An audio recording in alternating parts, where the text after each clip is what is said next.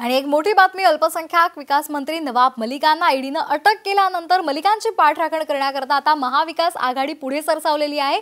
कोणत्याही परिस्थितीमध्ये मलिकांच्या मंत्रिपदाचा राजीनामा घ्यायचा नाही असा पवित्रा महाविकास आघाडी सरकारनं घेतलाय.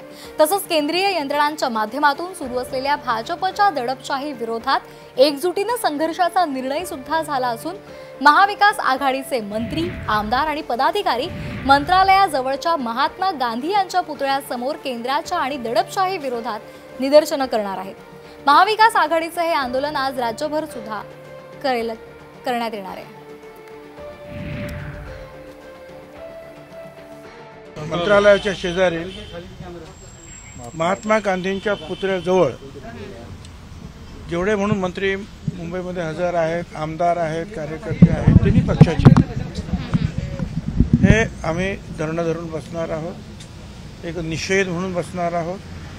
आणि परवापासून पूर्ण राज्यामध्ये तिन्ही पक्षाचे लोक एकत्र येऊन तिन्ही पक्षाचे कार्यकर्ते एकत्र येऊन तालुका जिल्हा शहर पातळीवर वेगवेगळ्या प्रकारे शांततेनं मोर्चा आंदोलन धरणं हा कार्यक्रम परवाच्या दिवशी होईल.